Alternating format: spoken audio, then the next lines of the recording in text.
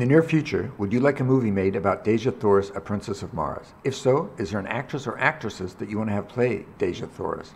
To show you what Dejah Thoris looks like and the sort of science fiction adventures that she gets involved in, Marvel and Dynamite Entertainment comic book covers are presented in chronological order from 1978 to 2023.